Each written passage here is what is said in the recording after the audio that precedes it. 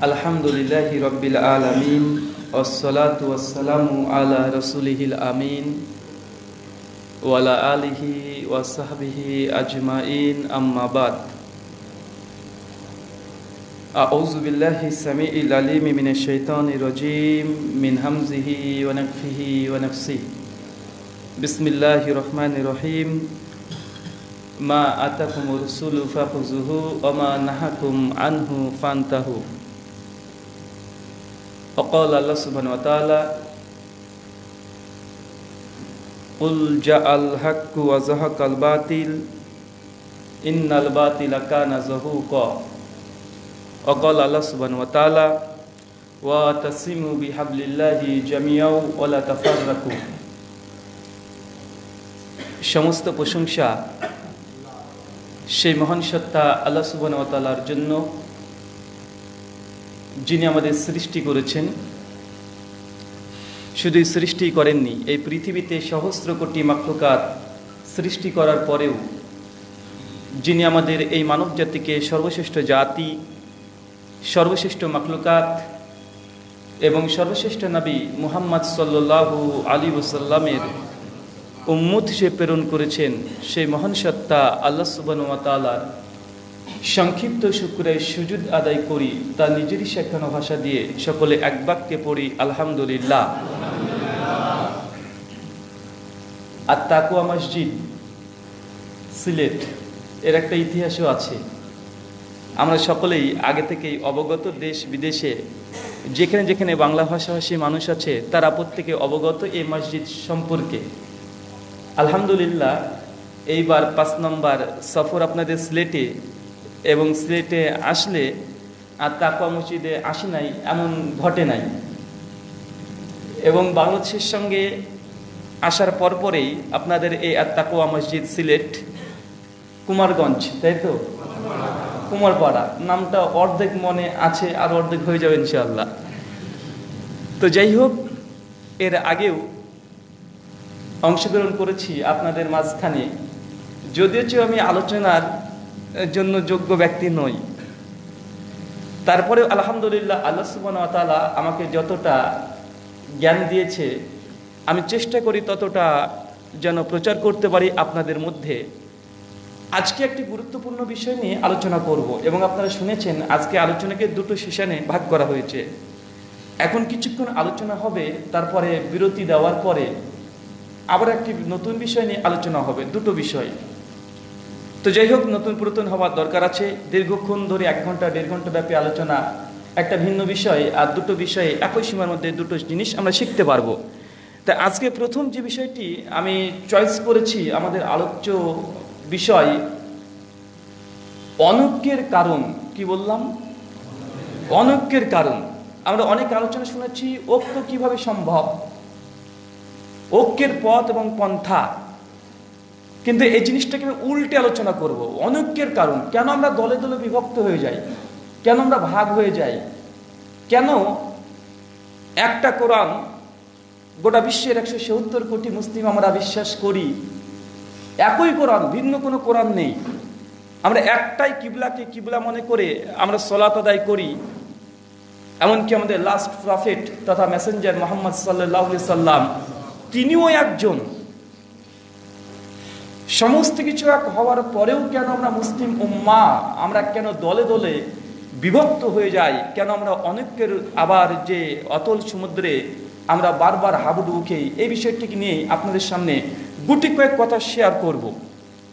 মনে রাখবেন, বিরোধিতাই অনেকের মূল কারণ নয়।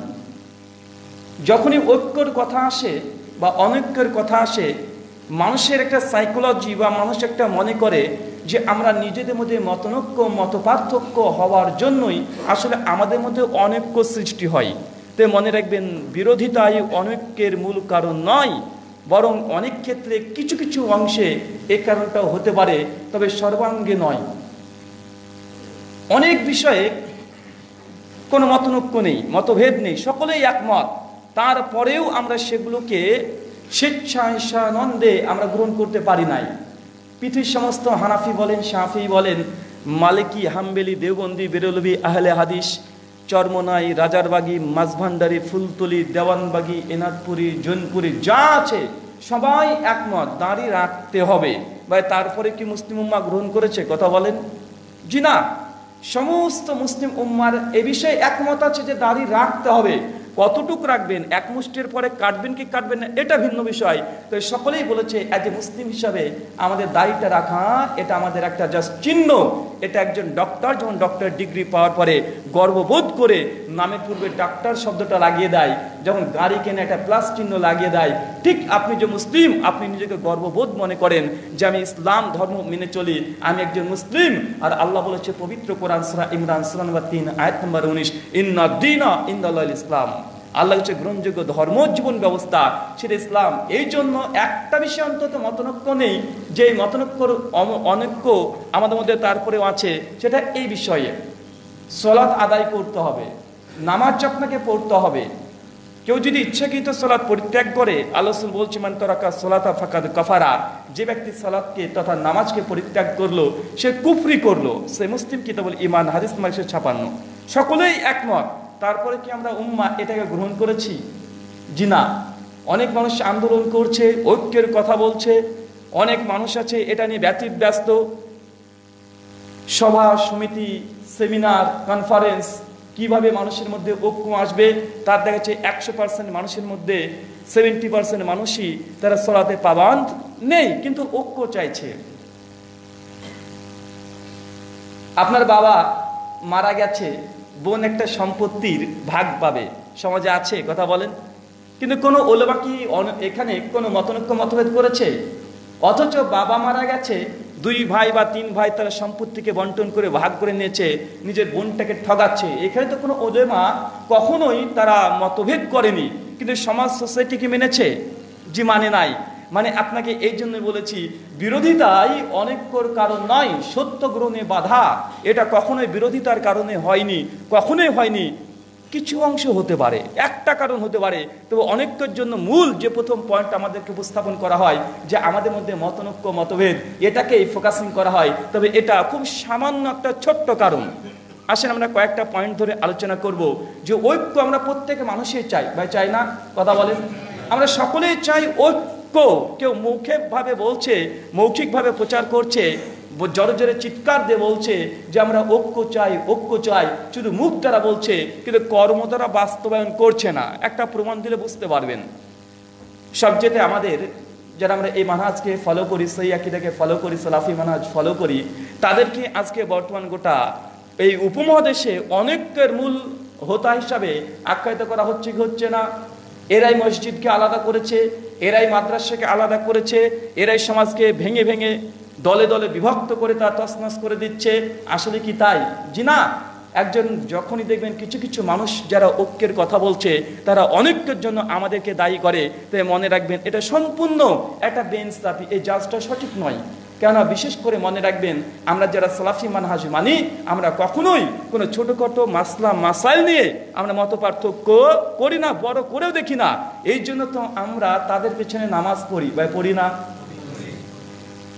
তারা যদি আমাদের মসজিদে আসে, তাদেরকে মসজিদের মেম্বারটা আমরা ছেড়ে দিই, যে আপনি আজকে খুদবা দেন, বা আছে না নেই, কথা বলেন। তাদের যদি যোগ্য একজন আলেম আসে, তাকে বলি, আপনি ভাই, নামাজ পড়ান, সলাত আদায় করান। আপনার পেছনে আমরা একতেদা করি বা করি কি করি না? কিন্তু আপনি কখনো কোনো দিন দেখেছেন যে আমাদের একজন যোগ্য ব্যক্তি তাদের মসজিদে গিয়েছে, তাকে মসজিদের মেম্বারটা ছেড়ে দিয়েছে? কখনো দেখেছেন? জি না, কখনো দেখেছেন একজন যোগ্য আলেম যে মাদানি ডিগ্রি অর্জন করে পিএইচডি ডিগ্রি অর্জন করে চলে এসেছে, তারপর তাকে নামাজের জন্য, সলাতের জন্য ইমামতিতে দিয়েছে? কখনো দেখেছেন? জি না, কিন্তু মৌখিকভাবে তারা বলছে, আমরা ঐক্য চাই ঐক্য চাই। কিন্তু তারা বাস্তবে, যখন বাস্তবতা আসছে, তারা কোনোভাবে ঐক্য তারা চায় না। অজস্র জায়গা আছে, যেখানে মানহাজে আহলে হাদিস অনুযায়ী যেখানে সভা সেমিনার কনফারেন্স হচ্ছে, আমরা তাদের আলোচক, তাদের বক্তাদেরকে ডেকে আনছি কি আনছি না? আলোচক হিসাবে আনছি, কিন্তু তারা কি কখনো আমাদের কোনো আলোচককে তারা নিয়ে যায় যে, আপনি আজকে আলোচনা করবেন, আজকে আমাদের এই সভা, এই সমিতি, এই জলসা, এই মাহফিলের আপনি প্রধান বা দ্বিতীয় বক্তা, এইভাবে কখনো আপনি দেখেছেন? জি না, তার মানে বুঝতে হবে কিছু কিছু মানুষ শুধু শুধু মুখ দিয়ে আউড়ে চলে যাচ্ছে যে, আমাদের ঐক্য দরকার ঐক্য দরকার। তবে বাস্তবতা ফিল্ডে সম্পূর্ণতার পরিপন্থী। তবে ঐক্য আমাদের অবশ্যই উচিত। সমস্ত মানুষ আজকে ঐক্যকে পাওয়ার জন্য তারা ছুটছে এবং কাজও করছে। কীভাবে ঐক্য হওয়া সম্ভব? কোন পথে গেলে আমরা ঐক্য একটা প্ল্যাটফর্মে আসতে পারি? আজকে যদি শুধু ধর্মীয় দিকটাকে বাদ দিয়ে এমনি রাজনৈতিক দিকটা দেখেন, তারা বলছে আমাদের রাজনৈতিকভাবে আমাদের ঐক্য একটা প্ল্যাটফর্মে আসা উচিত।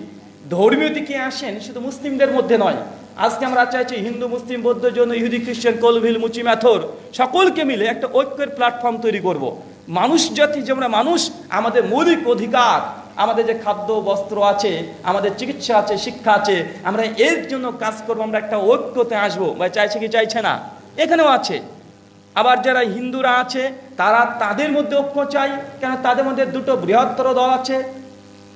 একটা হচ্ছে ব্রাহ্মণ, ব্রাহ্মণ্যবাদ আর একটা হচ্ছে শূদ্রবাদ, নিচু স্তরের জাতি, ওটা নিয়ে তাদের মধ্যে একটা অনৈক্য আছে। তারা বলছে, আমরা একটা প্ল্যাটফর্ম আসতে চাই। আমরা যে মানুষ, আমাদের জন্মগত কারণে কোনো আমাদের বিভেদ হওয়া উচিত নয়। তাদের মধ্যে ঐক্য তারা অনুসন্ধান করছে। রাজনৈতিক জীবনে ঐক্যর অনুসন্ধান চলছে। বিভিন্ন ধর্মের সেক্টরের মধ্যে যতগুলো দল আছে, তারা একটা ঐক্যের প্ল্যাটফর্মে আসতে চাইছে, যারা খ্রিস্টান গোটা বিশ্বজগৎকে ক্ষমতা দিয়ে পাওয়ার দিয়ে, শক্তি দিয়ে যারা দখল করেছে, তারা চাইছে ঐক্য। কেন? তাদের মধ্যে আছে অনৈক্য, একটা ক্যাথলিক, একটা প্রোটেস্ট্যান্ট। তারা বারবার সভা, সমিতি, সেমিনার কনফারেন্স তারা করছে যেন এই প্রোটেস্ট্যান্ট আর এই ক্যাথলিকদের মধ্যে একটা ঐক্য আসে। কেন? কারণ তাদের মধ্যেও নানা রকমের অস্ত্রযুদ্ধ হয়েছে কি হয় নাই? হয়েছে। যারা কুরসের ইতিহাস পড়েছেন, তারা জানেন যে তাদের মধ্যে ধর্মীয়, তাদের মধ্যে অনেকগুলো রাজনৈতিক দল আছে, অনেক অনৈক্য আছে। এছাড়াও দেখবেন দক্ষিণ আফ্রিকায় আছে আইআরএ, আইরিশ রিপাবলিকান আর্মি। একটা শুধুমাত্র দলই আছে যেটা ক্যাথলিক খ্রিস্টান যাদের সঙ্গে প্রোটেস্ট্যান্ট খ্রিস্টানদের এতই অনৈক্য যে তারা সশস্ত্র তারা মারামারি কাটাকাটি করছে। প্রত্যেক মাসে অন্তত দশ থেকে বিশ জনকে তারা হত্যাও করছে বা অন্যদের মধ্যে অনৈক্য আছে না নাই? আছে, হান্ড্রেড পার্সেন্ট আছে। ঠিক আমাদের মুসলিমদের মধ্যে অনেকগুলো দল, অনেকগুলো মত। যদি আমরা সার্বিক মুসলিমদেরকে দেখি, আমরা মনে করছি যে আমাদের শিয়া আর সুন্নিদের একটা ঐক্য দরকার আছে। বা চাইছি কি, চাইছি না? মূল জায়গাতে যান। যে প্রথম শিয়া এবং সুন্নি গোটা বিশ্ব জগতে যতগুলো মানুষকে, মানুষরা হত্যা করেছে, মুসলিমকে অমুসলিমরা হত্যা করেছে, এই পরিসংখ্যান যদি নিতে যান, তো জেনে রাখবেন শিয়ারা সবচেয়ে বেশি সুন্নিদেরকে হত্যা করেছে। এটা নিয়ে আমাদের আন্তর্জাতিকভাবে আজকে আমরা ইরাক, ইরান, তুর্কি, এই যে শাসন ব্যবস্থা, তাদের সঙ্গে মধ্যপ্রাচ্যের একটা আমরা ঐক্য চাইছি কি চাইছি না? কথা বলেন, ওখানে ঐক্য দরকার। আবার যদি শুধু সুন্নিদের মধ্যে চলে আসেন, তারপরে এখানে হানাফি, শাফি, মালিকি, হাম্বেলি, এদের চারটে ফিরকা, চারটে দলের মধ্যে আবার আমরা ঐক্যের কথা বলতে হচ্ছে। আবার যদি শুন হারাফি মাঝের মধ্যে চলে আসেন, তারপরে আবার দেওবন্দি, বেরলবি পুরপুরা চরমনাই এনাদপুরি জোনপুরি, রাজারবাগি মাঝবান্ডারি আবার এদের মধ্যে ঐক্য চাই। আবার যদি বলেন আমরা আহলে হাদিসের মধ্যে আসব, তো আহলে হাদিসের মধ্যে আবার আহলে হাদিস আন্দোলন জমেতে আহলে হাদিস, আবার যারা সংগঠন করে না, তাদের মধ্যে আর একটা অনেক মানে আর একটা অঘোষিত একটা দল তৈরি হয়ে যাচ্ছে। কিছু মানুষ আছে আহলে হাদিস, তারা সালাফি, আবার কিছু মানুষ আছে যারা দাবি করছে, আমরা শুধু মুসলিম, আবার এদের কিন্তু একটা ঐক্য চাই, আছে না নেই, কথা বলেন? ভাই বলুন তো, কোন ঐক্যটাকে আপনি নেবেন? কোনটা নেবেন? প্রত্যেকটা জায়গায় মানুষ বিশৃঙ্খলা, অনৈক্য, প্রত্যেকটা জায়গায় মতনৈক্য মত বিভাজন ইকতলাপ বা আছে না নেই? এখন এই জিনিসটাকে এত সহজেই একটা প্ল্যাটফর্মে নিয়ে আসা সম্ভব? জি না। এটা আদিকাল থেকে চলে আসছে। অনৈক্য তো শুরু হয়েছে তখন, একদম সৃষ্টির আদিলগ্ন থেকে। কখন হাবিল আল কাবিল, দুই ভাই। দুই ভাইয়ের যখন কুরবানি আল্লাহ সুবাহ তালা পক্ষে তারা করল সুরাম মাইদা পাঁচ এক নম্বর আঠাশ থেকে তিরিশ। আল্লাহ সুবাহ তালা যখন এক ভাইয়ের কুরবানি কবুল করলেন, আরেকজনের কুরবানি কবুল করলেন না, এই কারণেই তখন একটা অনৈক্য তৈরি হয়ে গেছে প্রথমেই। কেন একজনের কবুল হয়েছে, একজন সফল হয়েছে আর একজন ব্যর্থ হয়েছে, এই জন্য তো এক ভাই আর এক ভাইকে হত্যা করে দিল হিংসার কারণে। এই হিংসা থেকেই শুরু হয়েছে অনেকর বীজ। আর সেটা অদ্যবধি আজ পর্যন্ত চলছে। মনে রাখবেন, এই অনেকর মূল কারণ হচ্ছে হিংসা। এটা আদি কারণ, এটাকে বুঝতে হবে। খুব সূক্ষ্মভাবে বোঝার চেষ্টা করেন, কারণ অনৈক্য, মতনৈক্য, মতভেদ, এর পেছনে দুটো কারণ, এক, একজন ব্যক্তির সফলতা, আর ওই সফলতার কারণে আরেকজন ব্যক্তির হিংসা। ইগো এই জন্যই স্বাভাবিকভাবে সমস্ত জায়গাতে যত সেক্টর আছে সব জায়গাতে অনৈক্যের মূল কারণ এই দুটো বীজ কাজ করে। এখান থেকে একটা নতুন গাছ, একটা নতুন বৃক্ষ জন্ম নেয়। এখন আপনি দেখেন, আপনি যে সেক্টরে আছেন, এই দুটো কারণ বহির্ভূত আর কারও কারণ পাওয়া অনেক দুষ্কর আছে। এই দুটো হচ্ছে মূল কারণ। কেন এটা সৃষ্টির প্রথম দিন থেকে হয়েছে? আল্লাহ সুবান তালা আমাদেরকে এই অহংকার এবং অন্যের সফলতা দেখে আমাদের মনের মধ্যে আনচানি শুরু হওয়া, এটা তুমি দূর করে দাও সকলে পড়ি আল্লাহ আমিন। অনেকর কারণ অনেকের প্রথম কারণ মনে রাখবেন, উৎসগত ভিন্নতা। কি বললাম? উৎসগত ভিন্নতা। উৎস কি? ইসলামী দৃষ্টিকোণ থেকে উৎস হচ্ছে পবিত্র কোরআন এবং হাদিস। আল্লাহ মোহাম্মদ সাল্লাহ সাল্লাম তিনি বলছেন তারাক্তু ফিকুম আমরাইন। আমি তোমাদের মধ্যে দুটো জিনিস ছেড়ে গেলাম। ফি আমরাইন, দ্বিবচন, দুটো জিনিস। আমি ছেড়ে গেলাম। তোমরা যতক্ষণ এই দুটো জিনিসকে আঁকড়ে ধরে থাকবে, ততক্ষণ তোমরা পদভ্রষ্ট হবে না গোমরাহের মধ্যে নিমজ্জিত হবে না, অনেক্য তোমাদের মধ্যে হবে না। এক কিতাব আল্লাহ, আল্লাহর কিতাব ওয়াসুন্নাতে রাসুলহি, আর আমি নবী মোহাম্মদের সুন্নাত। আল্লাহ রসুল এই ঐক্যের জন্য একটা তিনি মূল ওসুল দিয়ে গেছেন, একটা বাতাবরণ দিয়ে গেছেন। সেটা হচ্ছে তোমরা ততক্ষণ গোমরা হবে না, পথভ্রষ্ট হবে না, তোমাদের মধ্যে অনৈক্য মতনৈক্য মতভেদ হবে না। যতক্ষণ তোমরা এই দুটো জিনিসকে ধরে থাকবে, এক কিতাব আল্লাহ, কোরআন আর সুন্নাতে রাসুলি, হাদিস। মুয়াত্তাম আলিক হাদিস ষোলোশো চৌষট্টি মিসকাত হাদিস নাম্বার একশো ছিয়াশি এবং আল হাদিসুল হুজ্জাত ফিনাফস হাদিস নাম্বার ছয়। মুস্তাকিল হাকিম, হাদিস নাম্বার এক হাজার ছয়শো বাষট্টি। মুসনাদে আহমেদও আছে। তাই মিসকাতের সনদটা মুরসাল। আর মুসনাদে মুস্তাকিল হাকিমের হাদিসটা হাসান সহি। তাই সার্বিকভাবে হাদিসটাকে হাসান বলা যায়। তো আল্লাহসুল অনৈক্য কেন হবে না? আর অনৈক্য কেন হয়? বে একটা হাদিসের মধ্যে বলে দিয়েছে কি দেয় নাই? কথা বলেন। দিয়েছে। আসল বলছে, ঐক্যের মূল পয়েন্ট হচ্ছে এটা। তোমাদের উৎসগত কোনো ভিন্নতা যদি থাকে, অবশ্যই তোমাদের অনৈক্য হবে। আর কোরআন, হাদিস, উৎস যদি সমস্ত মুসলিমদের একটা জায়গায় যদি উচ্চ হয়ে যায়, অবশ্যই তাহলে আর মতনৈক্য, মতভেদ, কোনো অনৈক্য সৃষ্টি হওয়া সম্ভব নয়। তা আমাদের মূল উৎস থেকেই আমাদেরকে শরীর শিখতে হবে। উচ্চ থেকেই দিনের জ্ঞান, ইলম হাসিল করতে হবে। উচ্চগত পার্থক্য হয়ে গেলে আমাদের মধ্যে পার্থক্য দেখা দেবে। আমি একবার আমি আসলে ইতিহাসের ছাত্র, তবে আমাদেরকে মাধ্যমিক পর্যন্ত জিওগ্রাফি পড়তে হয়েছে। তো ভূগোলের বই যখন পড়তাম, তখন শুনেছিলাম যে গঙ্গার জল খুব বিশুদ্ধ এবং আর্সেনিক মুক্ত। তো গঙ্গার জল বিশুদ্ধ, আর্সেনিক মুক্ত, তো একবার আমি গেলাম আমাদের পশ্চিমবাংলার হুগলি জেলায়। কাটোয়াঘাটের নিচে দেখছি গঙ্গার জল একদম চলে যাচ্ছে। আমি তখন স্টুক করে নিচে নেমেছি যে গঙ্গার জল দেখব, অনেক শখ। তো গঙ্গার জলে গিয়ে দেখছি যেখানে বিশুদ্ধ তো দূরের কথা, ওখানে দেখছি মরা ভাসছে, নোংরা গন্ধে একদম তার স্বাদ, রং সব পরিবর্তন হয়ে গেছে। তখন আমি ভাবলাম, কি ব্যাপার? ভূগোলের বই তো পড়েছিলাম যে গঙ্গার জল বিশুদ্ধ। কোনো রকমের দূষিত কোনো কিছু নেই। কোনো ভাইরাস, কোনো ব্যাকটেরিয়া কিছুই নেই। কিন্তু আজকে আমি যে গঙ্গার জল দেখছি, গঙ্গার পানি দেখছি এটা এমন কেন অবস্থা? দুর্গন্ধ। এতটাই দুর্গন্ধ, দাঁড়িয়ে থাকা মুশকিল। এখন কেউ যদি এই কাটাঘাটের ব্রিজের নিচে যে গঙ্গার পানি আছে, ওটা দেখে যদি বলে যে গঙ্গার জল তো ছিল বিশুদ্ধ যেটা আমি পড়েছিলাম, এটা আসলে ভুল। বরং গঙ্গার জল তো আমি দেখছি নোংরা, দুর্গন্ধযুক্ত। বা বলতে এই জাজমেন্টটা কি সঠিক? জি নাই। আসলে ভূগোলের যে বিশেষজ্ঞরা আছে, যারা সায়েন্টিস্ট আছে, বিজ্ঞান আছে, তারা তো বলেছিল গঙ্গার জল বিশুদ্ধ বলতে ওই গঙ্গা যেটা গঙ্গোত্রী হিমদাহ থেকে যে পানি নিঃসরণ হচ্ছে, এই পানিটাই, এই জলটা এটা হচ্ছে বিশুদ্ধ। কিন্তু এতদূর যখন বয়ে চলে এসেছে, রাস্তাঘাট ভেদ করে যখন আস্তে আস্তে আস্তে অনেক দূরে চলে গেছে, তখন এই পানির, এই জলের স্বচ্ছতা নাই। এটা দূষিত হয়ে গেছে। কেন? অনেকটা রাস্তা অতিবাহিত হয়েছে। ঠিক আমাদের মধ্যে অনেক হয়ে যায়। এই জন্যই যে আমরা মূল সোর্স কোরআন, হাদিস থেকে যখন ইল নিই না, এই এর মধ্যে আছে এই দল, এর মধ্যে আছে এই দল, এর মধ্যে আছে মাঝাব এর মধ্যে আছে তরিকত, এর মধ্যে আছে হাকিকত। যখন অনেকগুলো রাস্তাকে অতিবাহিত করে আমরা যখন কোরআন, সুন্নার বাণী শুনতে আসছি, তখন গঙ্গার ওই জলের মতো এটাও অশুদ্ধ হয়ে যায়। এটা বুঝতে হবে। যদি আপনি সরাসরি ওই গঙ্গোত্রী হিমদাহ থেকে যদি আপনি ওই পানিটা একবার নিতেন, আর একবার পরীক্ষা করে দেখতেন গঙ্গার জল আসলে পবিত্র না অপবিত্র, এটার বিশুদ্ধতা আছে না এটা দূষিত হয়ে গেছে, তবে আপনি বুঝতে পারতেন, কিন্তু আজকে আমরা শরীয়ত নিচ্ছি, আমরা অনেকগুলো রাস্তাকে পার করার পরে তার জন্য আজকে ইসলামটাকে আজকে আমরা এইভাবে পেশ করছি আমাদের সামনে, আর আমাদের নিজেদের মধ্যে অনেক মতনৈক্য, মতভেদ আজকে আমরা দেখতে পাচ্ছি। অজস্র কারণ আছে, অসংখ্য কারণ আছে, এটা একটা মূল পয়েন্ট আল্লাহ মোহাম্মদ সাল্লাহ সাল্লাম, তিনি বলেছেন, স্নান তিনবিজি কিতাবুল ফিতান, হাদিস নাম্বার দু হাজার ছয়শো একাত্তর এবং স্নান আবু দাউদ, হাদিস নাম্বার চার হাজার ছয়শো সাত এবং স্নান ইবনু মাজা কিতাবু সুন্নাহ, হাদিস নাম্বার বিয়াল্লিশ। আল্লাহ বলছেন যে, আমার মৃত্যুর পরে তোমরা নানান রকমের অনেককে জড়িয়ে পড়বে। অনেক রকম ফিতনা, ফাসাদ, মতনৈক্য, মতভেদ ইকতলাফের মধ্যে তোমরা জড়িয়ে পড়বে। তখন আল্লাহ রসুল এই অনৈক্যকে দুমড়ে চুড়িয়ে ভাঙচুর করে দিয়ে তিনি ঐক্যের একটা কথা বলে গেছেন। আসল বলছে, এই অনৈক্য থেকে যদি দূরে থাকতে চাও তবে তোমাদের ঐক্যের পথে যদি আসতে চাও, তোমাদের একটাই কাজ করতে হবে। কি কাজ? আল্লাহ রসুল তখন বলছে, আলাইকুম বিসুন্নাতি।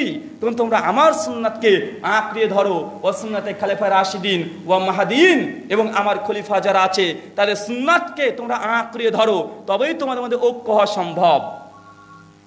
উৎসগত যদি ভিন্নতা হয়ে যায় যদি আমি বলি ভাই, আপনি এটা করছেন, এটা তো কোরআন হাদিসে নেই, কেন করছেন? ভাই, আপনি জানেন না, এটা আমরা কিয়াস থেকে করছি। কিয়াস? তো ভাই, কিয়াস আবার কি? আপনি জানেন না, ইসলামের চারটে দলই একটা কোরআন, একটা হাদিস, একটা ইজমা, একটা কিয়াস?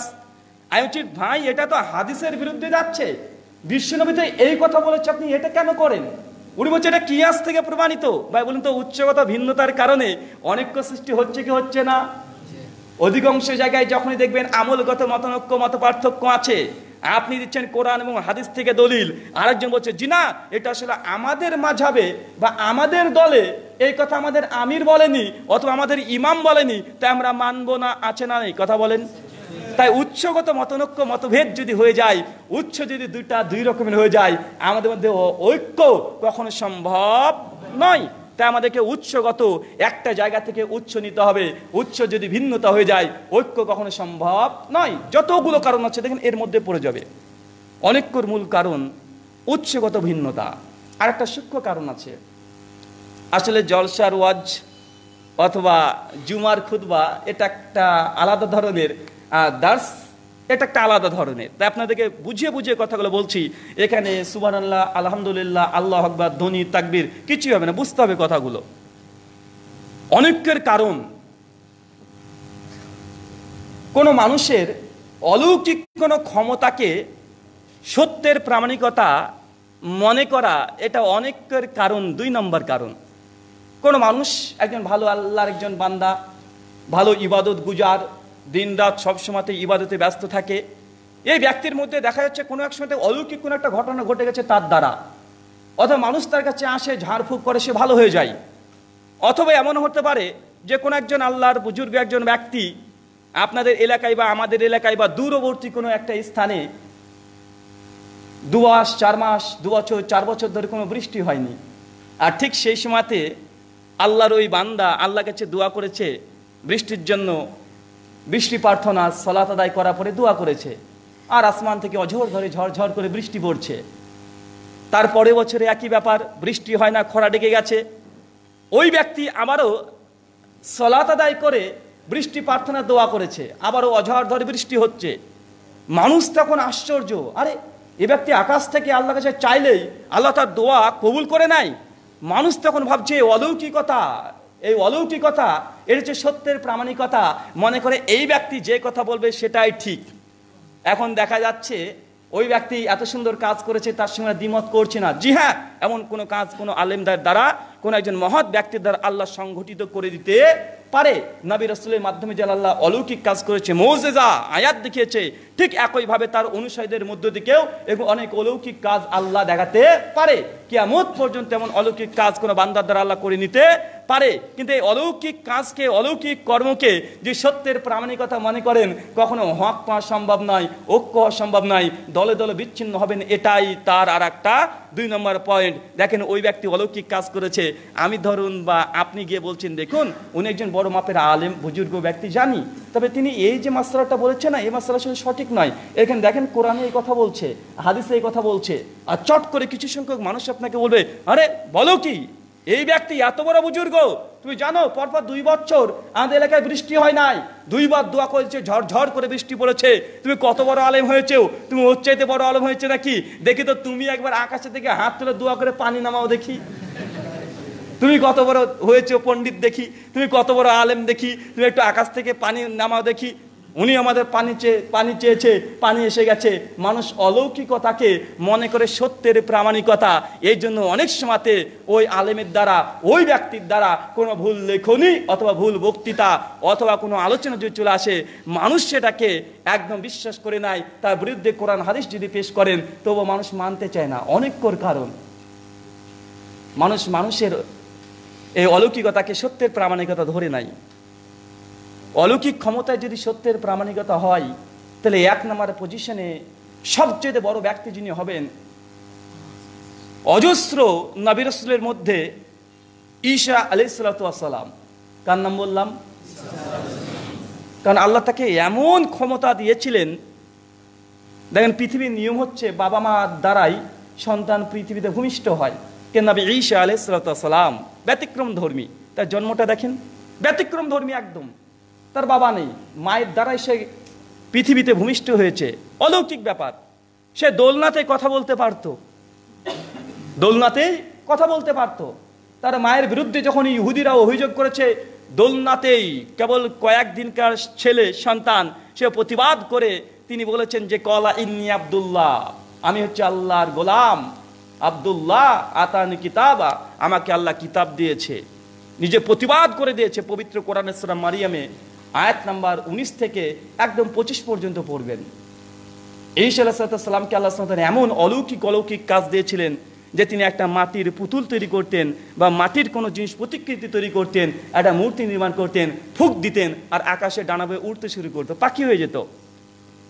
এই অলৌকিক ক্ষমতাকেই, এই মোজেজাকেই যদি আপনি মনে করেন যেটা সত্যের প্রামাণিকতা অথবা এটা ঈশ্বরের প্রমাণিত্ব অথবা এর দ্বারা যদি মনে করেন কে বড় বুজুর্গ, তবে বলুন তো সবচেয়ে বুজুর্গ ব্যক্তি কে হবে নাবিদের মধ্যে? ঈশা নাবি।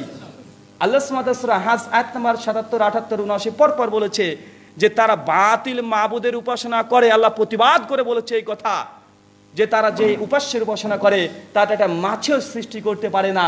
আল্লাহ বলেনি ভাই কথা? তা এটা মাছেও সৃষ্টি করতে পারে না। মানে আল্লাহর উলুহিয়াতের একটা দাবি যে আল্লাহ সৃষ্টিকর্তা আল্লাহ সৃষ্টি করতে পারে। আর আল্লাহ চ্যালেঞ্জ করে বলেছে, তারা যে বাতিল মাবুদের উপাসনা করে তা এটা মাছেও সৃষ্টি করতে পারে না। এখন খ্রিস্টানরা যদি বলে যে, অন্য উপাস্য, অন্য ঈশ্বর, কেন ঈশ্বর না? কারণ তারা একটা মাছে সৃষ্টি করতে পারে না। কিন্তু যারা খ্রিস্টানরা জিজাসকে, তাদের যিশু খ্রিস্টকে ঈশ্বর মনে করে তা যদি পাল্টা বলে যে মাছি সৃষ্টি করতে পারে ঠিক আছে। মাছি আর কি আমাদের ঈশা, যিশু খ্রিস্ট, ও তো বড় একটা পাখি তৈরি করে দিয়েছে। এবং দাবি করছে তাই। তারা বলছে, কোরআনের চ্যালেঞ্জ যে অন্য উপাস্য কেন উপাস্য নয়? কারণ তারা একটা মাছে সৃষ্টি করতে পারে না। কিন্তু কোরআনই বলছে যে জিজাস ক্রাইস্ট তথা ঈশা আলাহাম তিনি কি তৈরি করেছেন? তিনি একটা পাখি তৈরি ফুক দিয়ে, রুহ দিয়ে তিনি আকাশে উঠতে দিয়েছেন। মানে তিনি তৈরি করতে পারেন, তার জন্য বলছে, অতএব ইহা থেকে ইহাই প্রমাণিত, ইহা প্রমাণিত, কি প্রমাণিত? যিশু ঈশ্বর। অলৌকিকতা কখনো সত্যের প্রামাণিকতা হতে পারে না। মৃতকে কে জীবিত করতে পারে? আল্লাহ। কিন্তু এই গুণাবলীটা আল্লাহ নবী ঈশার মধ্যে দিয়েছে কি দেয় নাই? কথা বলেন। এই গুণাবলী আল্লাহ দিয়েছে, চিন্তা করেন। আল্লাহ সুবান তালার যে গুণাবলী খুশিসিয়াত আল্লাহর যেগুলো একদম তার রুবিয়াতের মধ্যে অন্তর্ভুক্ত, এমন কিছু গুণ, এমন কিছু গুণাবলী আল্লাহ ঈশা নবীর মধ্যে দিয়েছে কি দেয় নাই? দিয়েছে। এখন যদি অলৌকিকতাকে সত্যের প্রামাণিকতা ধরে নেন, তো আপনাদেরকে বলতে না খ্রিস্টানরাই ঠিক আছে। বলে নাউজুবিল আমিন জালি অথচ আল্লাহ সুবান তালা পবিত্র কোরআন শুরুই করেছে। ইহুদি আর খ্রিস্টান যে পথভ্রষ্ট তাদের উপরে যে আজাব আসবে তা যে জালেম বা ইসরা ফাতেহাতে আছে না? গয়রিল মকসুবি আলাইহিম আল্লাহ বলেছে, খ্রিস্টানরা হচ্ছে পথভ্রষ্ট, ভ্রান্ত। কেন? কারণ তারা সত্য দেখার পরেও, জানার পরেও তারা গোপন করে তারা মানুষকে কোনো সত্যের পথ দেখায় নাই। তাদের কাছে হকের দাওয়াত এসেছে, তারা গ্রহণ করে নাই। তাই আপনাকে এই কথাই বলছি, যদি অলৌকিকতাকে সত্যের প্রামাণিকতা ধরেন, অজস্র মানুষ আছে, দেখেন আমাদের কলকাতায় চলে যাবেন, কালীঘাটের মন্দির আছে কালী পূজা হয়, ওখানে উলঙ্গ নাঙ্গা, একদম সাধুরা বসে থাকে, ধুলি বালি মেখে বসে থাকে, কদিন খায় না তাও ঠিক নেই। ওদের কাছে মানুষ যায় হিন্দু দিদি ভাইয়েরা যায়, গিয়ে তার দেখেছে মানুষা করে। কার সন্তান হচ্ছে না? গিয়ে বলে যে, বাবা, একটা সন্তান যদি হয়, তাহলে এখানে একটা পাঠা বলি দিয়ে দিব। ঠিক তাদের মানও তো পূরণ হচ্ছে। ভাই, হচ্ছে কি হচ্ছে না? কথা বলেন। হচ্ছে। অনেক খ্রিস্টান আছে যারা বাপটিস্ম নেয়। দেখেছেন? বাপটাইজ বাপটিস্মো নিচ্ছে, তরিকাবন্দি বাংলাদেশের ভাষাতে তরিকাবন্দি নিচ্ছে মানে কার দেখাচ্ছে, এক বছর, দুই বছর ধরে বাতের ব্যথা আছে কে চোখে দেখতে পাচ্ছে না, তখন খ্রিস্টান পণ্ডিত বিশেষজ্ঞ তাদের একটা বাপটিস্মো আছে মানে ব্যাপটাইজ নেওয়া, তখন তারা জিজাস ক্রাইস্টের নাম নিয়ে তার চোখে হাত বলে দিচ্ছে, ওদের নাকি চোখও ভালো হয়ে যায়। এটা তাদের দাবি, এমন ঘটতেও পারে, এটা অস্বীকার করার কোনো জায়গা নেই। ওই তো এই হাদিসের দলিল তো আছে, ইবনে মাসুদ রদিল তালা আনুর স্ত্রী তার হাতে এসে দেখছে যে ইবনে মাসুদ একটা তাবিজ আছে। এসে বলছে, তোমার এটা কি ব্যাপার? উনি তখন বলছে, আমার কোমরে বা আমার চোখে খুব ব্যথা করে, খুব যন্ত্রণা হয়, আমার চোখটাতে যন্ত্রণা করে। এই জন্য একটা বয়স্কা বৃদ্ধা নারী, একটা ইহুদি নারী আমাকে এসে একটা তাবিজ দিয়ে গেছে, একটা মাদুলি দিয়ে গেছে, একটা তামিমা দিয়ে গেছে। তো আমি এটা বেঁধে রাখি। তো যখন বাধা থাকে, সেই সময়তে আমি চোখটা খুব শান্ত থাকে। আমি কোনো ব্যথা অনুভব করি না। কিন্তু যখন আমি খুলে ফেলি, তখন ব্যথা অনুভব হয়। এমনি মাসুদ দরদের তারা তখন সঙ্গে সঙ্গে বলছে, তুমি এই কথা, যে কথা বলছি, এ কথা ঠিক। তবে মনে রাখবে, যখন তুমি এই তাবিজটা পড়ছো, সেই সময় শয়তান খুব হাসে। আর তুমি যখন তাবিজটাকে খুলে ফেলছো, সেই সময় তোমাকে খোঁচাতে থাকে। কেন? তখন তুমি শিরিক থেকে দূরে আছো এই জন্য। এই কথা বলে ইবনু মাসুদ রদুল্লাহনু তিনি তার স্ত্রীর তাবিজটিকে ছিঁড়ে একদম নর্দমে নিক্ষেপ করে দেয়। ইবনু মাজা মুসনাদ আহমদের হাসান সনদ হাদিসটা বর্ণনা আছে মানে কোনো বাতিলের কাছেও কর্ম হতে পারে কি পারে না? আপনি ভাবছেন অমকের কাছে গিয়েছিলাম, আমার স্ত্রীর তো বেবি হয় না, বাচ্চা হয় না। আমি গিয়েছিলাম, কিন্তু আমাদের পীর বাবার কাছে মানত করে আমার তো তিনটে হয়েছে, আগে একটাও ছিল না। আপনি ভাবছেন তাহলে ইনি মানে হক, পীর তরিকাটাই হক। আর এই পীর এর কাছে মুরিদ হতে হবে। তাই ইনি যা বলবেন সব আমাকে মানতে হবে। বা বলুন তো আছে না নাই? আছে। তাই মনে রাখবেন মানুষের অলৌকিক কোনো ক্ষমতা অলৌকিক কোনো মজেদা অলৌকিক কোনো আয়াত, এগুলো দেখে মানুষ যখন মানুষকে মনে করে, এই হচ্ছে সত্যের মানদণ্ডে উত্তীর্ণ হয়ে গেছে, আর সে যা কথা বলছে, সবগুলোকে নির্দ্বিধায় গ্রহণ করে নিচ্ছে। কোরআনে কি আছে, হাদিসে কি আছে সাহাবার তালামরা কি বলেছে, সালফে সলহীন? তারা কি শিক্ষা দিয়েছে, কোনো দৃষ্টি দেয় না। ভাই, বলুন তো, ঐক্য হওয়া সম্ভব? জি না? তাই আমাদের এগুলোকে মনে রাখতে হবে। অলৌকিকতা কখনো কখনো অনেকের মূল কারণ নয়। আরেকটি পয়েন্ট আছে, সে বিষয়টি কারও সফলতা কারও সফলতা দেখেই মানুষ, মানুষকে মনে করে যে ইনি হচ্ছেন সত্য। তাকেই সত্য এবং মিথ্যার একটা মানদণ্ড হিসাবে স্কেল হিসাবে মানুষ ধারণা করে। হতে পারে কোনো একজন বক্তা, তার অজস্র ভক্ত আছে, সে বক্তৃতা দিয়ে লক্ষ লক্ষ মানুষ তার বক্তব্য একদম মুগ্ধ হয়ে শোনে মানুষ একদম লড়তে চায় না তার বক্তৃতা শোনার জন্য। দুশো কিলোমিটার, চারশো কিলোমিটার, ছয়শো কিলোমিটার দেশ বিদেশ থেকে টিকিট ভাড়া করে চলে আসে। বক্তার বক্তৃতা শুনতে এখন মানুষ তখন মনে করছে, বক্তা এত চমৎকার, তার বক্তৃতায় এতই প্রভাব, অজস্র মানুষ তার বক্তৃতা শুনতে আসছে। তাই এই বক্তার দ্বারা যদি কোনো ভুল হয়ে যায়, যখন আপনি বলবেন, আমি জানি, আসলে এ নিয়ে একজন বড় মাপের আলেম। একটু শ্রদ্ধা নিয়ে বলেন যে, বড় মাপের আলেম আমি জানি, তার অজস্র ভক্তবিন্দু আছে। তবে মনে রাখবেন, তিনি এই মশলাটা কোরআন হাদিসের বিরুদ্ধে বলে দিয়েছেন। দেখেন এখন কোরআনের আয়াত দেখেন এ দেখেন, হাদিস দেখেন। তিনি বললেন এই কথা, অথচ কোরআন হাদিসের বিশ্বনবী মোহাম্মদ ইসলাম তিনি আলাদা কথা বলেছেন। তাই এটা আপনার আলেমের ভুল হয়েছে। তখন এক শ্রেণি মানুষ বলবে কি বলো? আরে তোমার বক্তৃতা কটা মানুষ আসে? তোমার বক্তৃতা কুকুর শিয়ালও শোনে না। তোমার স্টেজ পুরোটাই ফাঁকা থাকে। তুমি জানো? ওই আলেমের বিরুদ্ধে বলছো, তুমি জুতো, তুমি বইতে পারবা না। তারও তোমার যোগ্যতা নেই। ওই আলেম যখন বক্তৃতা দেয়, এখনই ছেড়ে দাও। এখনই বক্তৃতার মঞ্চে নিয়ে আসো। দেখো, কোনো বাংলাদেশে এমন কোনো জায়গা নেই, এমন কোনো ফিল্ড নেই যেন মানুষ ধরে রাখতে পারে। লক্ষাধিক দশ বারো লক্ষ মানুষ তার আলোচনা শুনতে আসে। আর তুমি দুই দিনকার আলেম হয়ে বড় বড় কথা বলছো? ভাই মানুষের মধ্যে আছে না নেই? এই যে ব্যক্তি কেন্দ্রিক অন্ধত্ব, কারোর সফলতাকেই মানুষ সত্য এবং মিথ্যা হক এবং বাতিলের একটা মানদণ্ড ধরে নিয়ে মানুষ, মানুষের পেছনে ছুটছে, এটা হচ্ছে অনৈক্যর আরও একটি বড় কারণ। দেখেন বাংলাদেশে যতগুলো অনৈক্য আছে, বাস্তবতা নিয়ে আপনি দেখেন যে মানুষ যে অনৈক্য হচ্ছে, মানুষ যে মতনৈক্য থেকে বেরিয়ে আসতে পারছে না, ঐক্যের প্ল্যাটফর্মে আসতে নেই। কেন? মানুষ, মানুষের সফলতাকে মনে করছে এটা সত্য মিথ্যার একটা মানদণ্ড। তিনি যেটা বলবেন, সেটাই সত্য। অজস্র মানুষ আছে ভক্ত আর তার শাইক বা মাসাইক বা আলেম, তার পেছনে সময় কাটাতে কাটাতেই তিনি মনে করছেন, ইনি যে কথা বলবেন সেটাই সত্য। এর বিরুদ্ধে যদি কেউ কথা বলে বিশ জন, পঁচিশ জন ওরা বিশ্বের আলেমে যদি তার বিরোধিতায় বিরুদ্ধে কোনো ফতোয়া দেয়, কোনো মত দেয়, কোনো রায় দেয়, তবুও মানবো না। কেন? আমার শাইক যাকে আমি ভালোবাসি পছন্দ করে তিনি এই মতটা দিয়েছেন। ভাই, আমাদের সমাজে আছে না নেই? কথা বলেন। এটা অনেককর কারণ। সমাজকে বিশৃঙ্খলা তৈরি করে দেয়। একটা ভেঙে চূর্ণ বিচূর্ণ করে দেয়। এটা আর একটা কারণ। মনে রাখবেন, একজন, দুজন, এক লক্ষ, দশ লক্ষ মানুষ যদি কোনো ব্যক্তির বক্তৃতা শুনতে এসেছে, তার কথা শুনছে, তার ভক্ত আছে, এটাই সত্যের প্রামাণিকতা নয়। কেন ভুলে যাচ্ছেন? নবী, একজন এসেছিলেন, নূহ আলাইসালাম একটা বছর নয়, দুইটা বছর নয়, সাড়ে নয়শো বছর তিনি দাওয়াত দিয়েছেন উম্মাদকে। সাড়ে নয়শোটা বছর আমরা কয়টা বছর দাওয়াত দিয়েছি?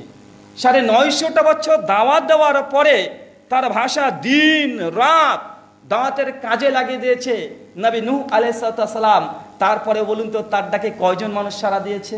কয়জন? চল্লিশ, পঞ্চাশ, একশো, দুইশো, এক হাজার ধরে নেন। যদি কোনো রেওয়াতে এক হাজার নেই, এক হাজার মানুষ ধরে নেন, চিন্তা করেন একজন নবী। একজন নবীন সাড়ে নয়শো বছর তিনি তার উম্মতকে দাওয়াত দিয়েছেন নাবি হওয়ার পরেও তার কথা মানুষকে শোনানোর জন্য শ্রোতা পায় নাই। তার অনুসারী বানাতে পারে নাই, তার ভক্ত বানাতে পারে নাই। তো মানুষ যদি মনে করে তার সফলতা, তার ভক্ত বিন্দু বেশি, এই জন্য সে যদি হকের মানদণ্ডে চলে আসে, তো নবী নু আলাইসালাম তিনি কি ফেল করেছিলেন? তিনি কি অসফল ছিলেন? তিনি কি মিথ্যা ছিলেন? জি না। তাই আপনাকে এখান থেকে নাবিদের জীবনী থেকেই আপনাকে শিক্ষা অর্জন করতে হবে। ভক্ত কিন্তু ওই যে বসেন বসেন। আছে না? আরেকজন আছে, কুয়াকাটা সাহেব, তার ভক্ত আছে না? আছে, কিন্তু আপনি ভক্তের ভিত্তিতে যদি মনে করেন কে বড় মাপের আলেম, কার কথা সত্য, কে কোরআন যে কথা বলছে, ভাই, এর চাইতে বড় মূর্খতা, অজ্ঞতা আর পৃথিবীতে দ্বিতীয় কিছু হবে না। মোহাম্মদ সাল্লামের ফলোয়ার গোটা বিশ্ব জগৎ একশো সত্তর কোটি। কত কোটি? নাবি ঈশা ঈশা সালামকে ঈশ্বর হিসাবে, ঈশ্বরের পুত্র হিসেবে বিশ্বাস করে এদের ফলোয়ার দুইশো বিশ কোটি। কত কোটি? দুইশো কুড়ি কোটি। ভাই, বলুন তো, তার মানে কি বলবেন? এখন জিজাস ক্রাইস্টকে যারা গড মানছে সন অফ গড অথবা গড মানছে, তারাই সত্য। বিশ্বাস করবেন? যে না। তাই কখনো কোনো মানুষের সফলতা তাদের ভক্ত বৃন্দু দিয়ে আপনি যদি সত্য খুঁজতে চান, আপনি চূড়ান্ত অনেকের মধ্যে পতিত হবেন এবং হক তথা সত্য কখনো পাবেন না। সত্য থেকে অনেক দূর আপনি অবস্থান করবেন। অনেকর কারণ, আরেকটা সূক্ষ্ম কারণ আছে। তিনটে কারণ বলেছি। প্রথম, শুরুই হচ্ছে হিংসা দিয়ে। কি দিয়ে ভাই? হিংসা। আর কোনো ব্যক্তির সফলতা। আর দুই নম্বর যে পয়েন্টটা বলেছিলাম, বিরোধিতাই অনেকর কারণ নয়। আর মানুষের ব্যক্তি সফলতা, অলৌকিকতা, এগুলো কখনোই মূল কারণ এগুলো হতে পারে না, ছোট্ট ছোট্ট অংশ হতে পারে। মানুষ আরও অনেকর মধ্যে জড়িয়ে যায়, এটা হচ্ছে ব্যবসাবোধ, কি বললাম? ব্যবসাবোধ। ব্যবসাবোধ? জি হ্যাঁ ব্যবসাবোধ। আমি যখন কলকাতাতে যখন প্রোগ্রাম করি, আজ থেকে বছর চারেক আগে তখন ট্রেনে প্রোগ্রাম করতাম। চার পাঁচ বছর আমার বক্তৃতার জীবনে প্রথমের দিকে, একদম দু হাজার পনেরোর দিকে। একটা জেলা আছে নদিয়া কৃষ্ণগড়ে একটা বড় স্টেশন আছে। তা আমি যখন কলকাতা যাই ওই দিক দিয়ে যেতে হয়। তো প্রায় আমাকে কৃষ্ণগড়ে নামতে হয়, ওটা মিডিল সেন্টার যেটা আমরা কলকাতা, হাওড়া, হুগলি, বর্ধমান, মেদিনীপুর, এদিকে যেতে হলে কৃষ্ণনগরে যেতে হয়। তা আমি প্রতিদিন এমন টাইমে কৃষ্ণনগর স্টেশনে পৌঁছাতাম, যে সময়তে জোহরের ওয়াক চলে এসেছে। তা আমি টুক করে গাড়ি থেকে ট্রেন থেকে নেমে পাশে একটা টিউবওয়েল আছে, টিউবওয়েল, বোঝেন না ভাই? টিউবওয়েল। তো ওখানে গিয়ে কোনো রকম অজু টজু করে আমি ওখানে একটু নামাজটা টুক করে পরে আবার ট্রেনে উঠে পড়ি। ওখানে আধা ঘণ্টা ট্রেনটা থামে। এই জন্য আমার সুযোগটা হয়ে ওঠে। তো প্রতিদিন এইভাবে আমি নামাজ পড়ি ওখানে। তো একদিন হঠাৎই আমি গিয়েছি, বর্ধমানে গিয়েছি। ওই কৃষ্ণনগর থেকে গিয়েছি মানে আজকে আমি ধরুন বর্ধমানে গিয়েছি, এখান থেকে অজু টুজু করে নামাজ পড়ে ট্রেনে চড়ে চলে গেছি। পরের দিন এসে আবার গাড়ি থেকে নেমেছি, ট্রেন থেকে এসে দেখছি যে ওই টিউবওয়েলটাকে ভেঙে চুরে চূর্ণ বিচূর্ণ হয়ে আছে। আমি তো কি ভাবলাম যে কী ব্যাপার কি? এখানে এই টিউবওয়েলটা ছিল, ভাঙাচোরা কেন? পাশে দেখছি একটা দোকানদার আছে।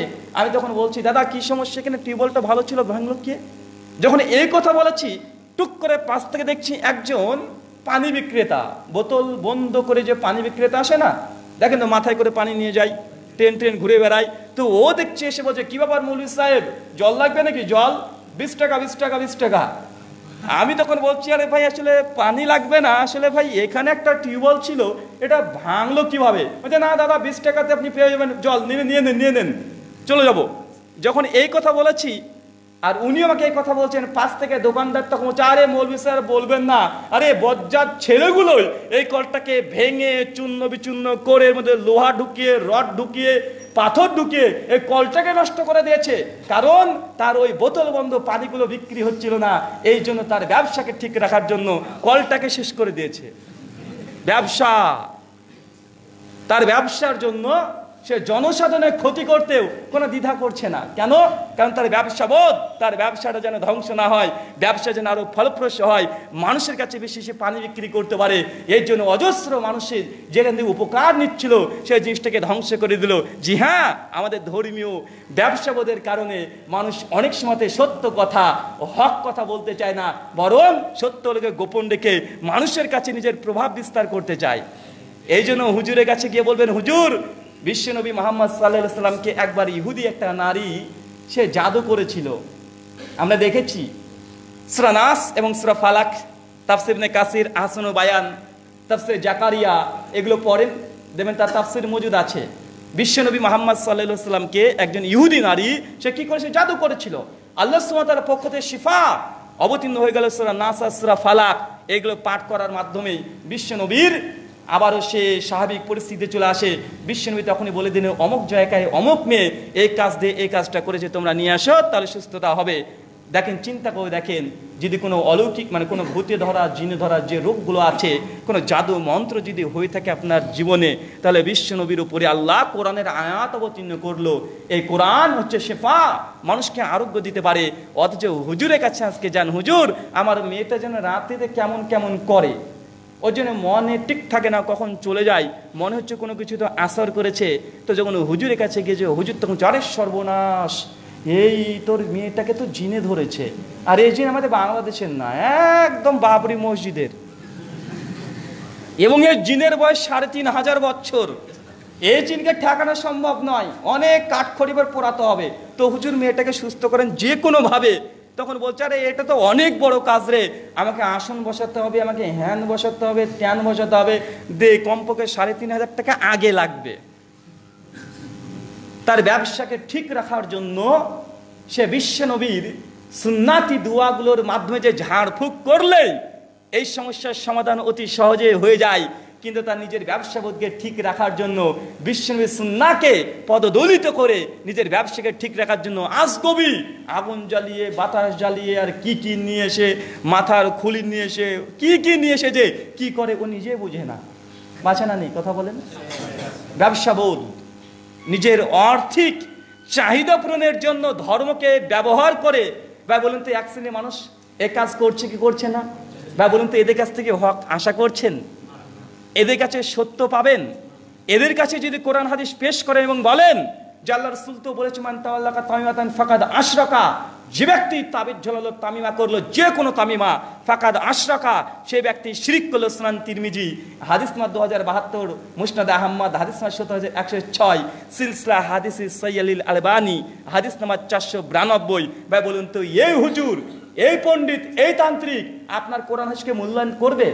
জি না, কিন্তু আমাদের সমাজে, আমাদের সোসাইটির মধ্যে এদের একটা অংশ আছে না নেই? আছে। আছে বইটি বরং অধিকাংশ তারাই।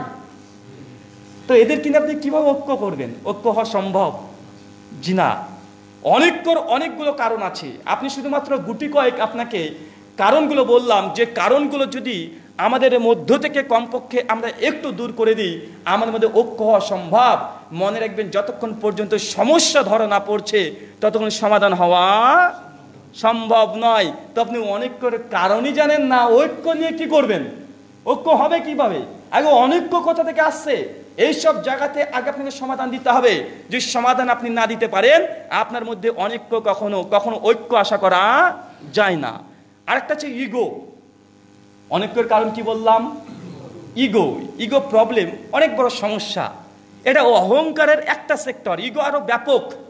ইগোটা আরও ব্যাপক, তো অহংকারকে ইগোর সঙ্গে সংমিশ্রণ করলে কিছু অংশ পাওয়া যায়। এবং অহংকার থেকেই ইগোর একটা অংশ আসে। তো ইগোটা কি? আমরা সকলে জানি, কোনো মানুষ একজন বড় মাপের আলেম হয়ে গেছে বড় একজন লেখক হয়ে গেছে, অথবা তার মাদ্রাসা খুব বড়, দু চারটে মাদ্রাসা, পাঁচটা, দশটা মাদ্রাসা আছে। গোটা বাংলাদেশ, গোটা ইন্ডিয়ায় তার একটা নাম, যশ, খ্যাতি আছে। সে এমন একটা কথা বলে দিয়েছে, যে কথাটা বলেছে, সে ইচ্ছাকৃত হোক বা অনিচ্ছাকৃত হোক বা তার গবেষণা ও অপরিপক্কতার কারণেই বা হোক, সে বলে দিয়েছে, হয়তোবা সেই সীমাতে তাৎক্ষণিক প্রশ্ন জিজ্ঞেস করেছে, উত্তর দিয়েছে গবেষণা তাহাকিক, তেমন পর্যায়ে ছিল না, কিন্তু সে উত্তরটা দিয়ে দিয়েছে। এখন উত্তরটা দেওয়াতে দেখা যাচ্ছে, কিছু আলেম ওলেমা, হাক্কানি যারা আলেম ওলেমা, তারা দলিল দিয়ে বলছে, আপনার এই কথাটা আসলে সঠিক হয়নি। এরা কোরআন, হাদিস, সালফে সলিনের বিরুদ্ধে চলে গেছে। তাই এই ফতোয়াটাকে আপনি পরিবর্তন করে নেন। এই রায়টা থেকে আপনি ফিরে আসেন। কিন্তু যেহেতু সে একটা কথা বলে দিয়েছে, এবং তার একটা মর্যাদা, একটা সম্মান গোটা বিশ্বব্যাপী আছে, সেক্ষেত্রে ওই ব্যক্তি চিন্তা করছে যে, আমি যদি এখন তাদের মতের দিকে মত দিয়ে দিই, তাহলে আমাকে মতটাকে পরিবর্তন করতে হলো। আমার ইগোতে প্রবলেম হবে, বা আমাকে মানুষ তখন ভাববে যে একটা ভুল ফতোয়া দিয়েছে, ভুল রায় দিয়েছে। এই জন্য তার ভুল ফতোয়াকেই সঠিক প্রমাণ করার জন্য কোরআন হাদিস থেকে দলিল আদিল্লা নিয়ে যদি আবার ওই ভুল ফতোয়ার পক্ষেই দলিল দিতে যায়, ভাই বলুন তো হক পাওয়া সম্ভব আর? মানুষের অনেক সৃষ্ট এখান থেকে ইগো। ইগোটা মূল কাজ হয় এখানে। একটা ভুল ফতোয়া দিয়ে দিয়েছে, কিন্তু সে যে রুজু করবে, পরিবর্তন করবে, যে না, আমি ভুল করে বলে দিয়েছি, আমার এই ফতোয়াটা সঠিক নয় এবং ওই কথাটাই, ওই জিনিসটাই, এটাই সঠিক এটাই সালাবদের রায়। তাই আপনারা এটাকে মানেন, আমি ফিরে আসছি আমার পূর্বের রায় থেকে। এই কথাটা না বলার কারণেই বা সমাজে অনেক সৃষ্টি হয় কি হয় না? হয়। অনেক অনেকগুলো কারণ আছে। ছোট ছোট কারণ আপনাকে শুধুমাত্র বললাম, এই কারণগুলো হচ্ছে মূল কারণ এবং এগুলো ব্যাপক আকার ধারণ করে। ব্যাপক আকার ধারণ করে। এই জন্য আমাদের আহলে হাদিস বলেন, হানাফি বলেন, শাফি বলেন, যে কোনো দলের মধ্যে এই জন্য বিভেদ সৃষ্টি হয়ে যায়। আরেকটা আছে, আমিরত্ব। আমিত্ব, মনে রাখবেন, সমস্ত মানুষ যদি ঠিক হয়ে যায়, জনসাধারণ যদি ঠিক হয়ে যায়, আর নেতা যিনি আমির, যিনি নেতৃত্ব দিচ্ছেন, তিনি যদি একটু বাঁকা হন, সমাজকে কখনো ঐক্যের প্ল্যাটফর্মে আনা সম্ভব নয়। একটা উদাহরণ দিয়ে বুঝতে পারবেন বিষয়টি। ধরুন আপনার সিলেটবাসী, এখন আমরা বিছানা কান্দিতে যাব। আমরা এখানে সকলে আছি, দুটো তিনটে গাড়ি ভাড়া করেছি। বিছানা কান্দিতে আমরা ভ্রমণ করতে যাব। তো ধরুন আপনারা গাড়িতে চড়েছেন, হঠাৎ আপনার গাড়িতে আমি উঠে পড়েছি। আপনি যে রুহুল আমিন ভাই মাশাল্লাহ অনেক আপনার আলোচনা আমরা শুনি, খুব ভালো লাগে। তো আমি গাড়িতে যেহেতু উঠে পড়েছি, শেষে একটা সিট আমাকে ছেড়ে দিলেন, ভাই, আপনি এখানে বসেন। আমি সঙ্গে কিছু খাদ্য নিয়ে এসেছি, ভাই, এটা খান, এটা ইন্ডিয়ান খাবার। আমি খুব আগ্রহ সাথে দিচ্ছি, আপনারা বলছেন, ভাই, এটা আমাদের সিলেটের খুব ভালো খাবার, এটা আপনি খান। যারা যাত্রী আছে তারা সকলেই খুব আন্তরিক এবং সকলেই একে অপরের প্রতি ভালোবাসা, মেলবন্ধন সব কিছু আছে। খুব সুন্দরভাবে আমরা ভ্রমণ করতে যাচ্ছি। কোথায়? বিছানা কান্দিতে। আমাদের যাত্রী সকলে ভালো, সকলেই একমত, সকলের মধ্যে ভাতৃত্ব আছে। কিন্তু মাতাল যদি ড্রাইভারটা হয়, বলেন তো কি হবে? ড্রাইভার যদি মাতাল হয় বা আমাদের এই ভাতৃত্ব, এই ভালোবাসা, মেলবন্ধন, আমাদের যাত্রীর ঐক্যর কোনো মূল্য থাকবে আর?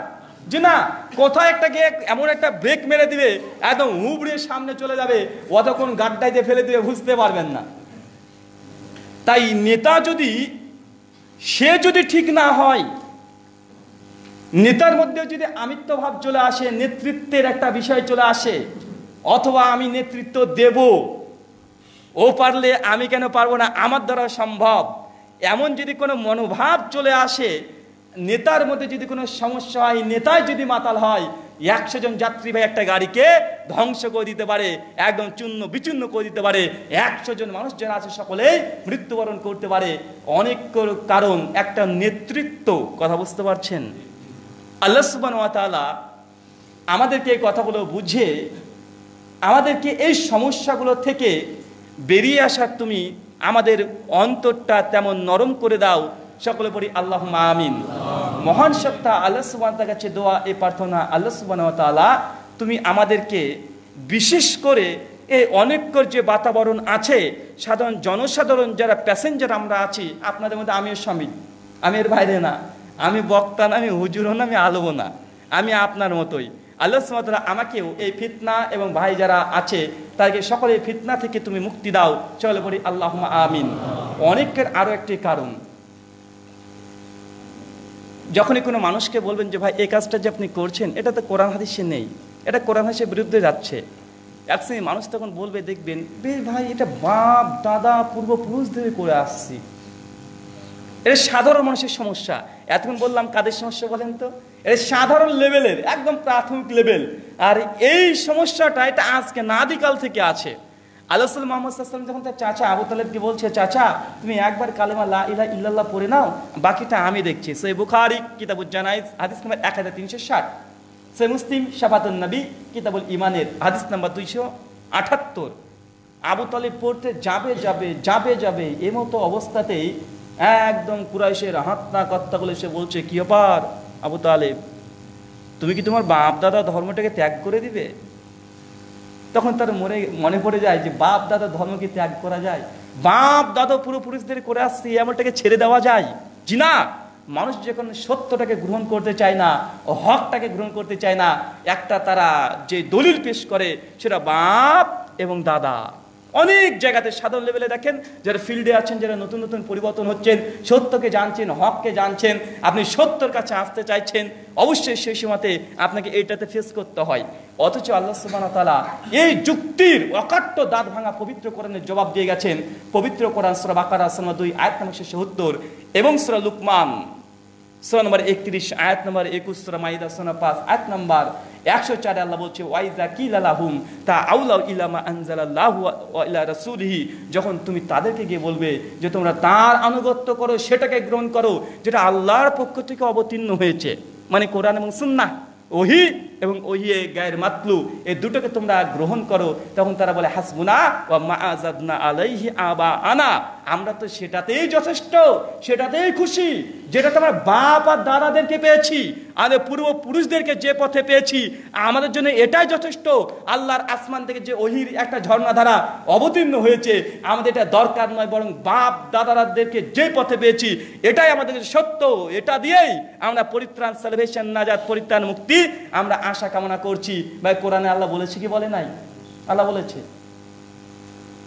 পবিত্র কোরআন আল্লাহ সামতে এইসব বিষয়গুলো মানুষ যে অনেক্য হয়ে যায়, মানুষের সাইকোলজি এগুলোকে আল্লাহ পোস্টমর্টেম করেছে।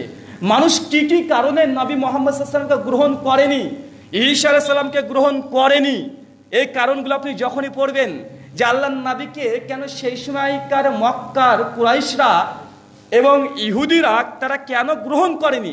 এই কারণগুলো পড়বেন আর আজকে জীবনে, আজকে আপনার প্রতিবেশীকে দেখবেন, যা যে সত্য, কোরআন এবং সুন্না এগুলো দাওয়াত দিচ্ছেন, তার দেখবেন একই কারণ বলে। কোনো সাইকোলজি পরিবর্তন হয় নাই। আমি আশ্চর্য হয় যে চোদ্দশো বছর আগে মানুষটা অন্ধকারের যুগ ছিল, একটা লম্প ছিল না। আজকে আমরা বিমানে চড়ছি, কত সুন্দর লাইট এত ইন্টার মানে ইন্টারন্যাশনাল এখন টেকনোলজি এতই বৃদ্ধি হয়েছে, কিন্তু আমাদের সাইকোলজির কোনোই পরিবর্তন হয়নি। সেই সময় মানুষ যে যুক্তি দিত, আজকের দিনে সেটাই দেয়। আল্লাহ সুবান তালা তুমি আমাদেরকে এই একটা দুর্বল, একটা অক্ষম যুক্তি থেকে, মনোভাব থেকে আমাকে বেরিয়ে আসার তৌফিক দান করো।